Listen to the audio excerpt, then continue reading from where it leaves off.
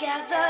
After the we said we'd fight together. I guess we thought that's just what humans do.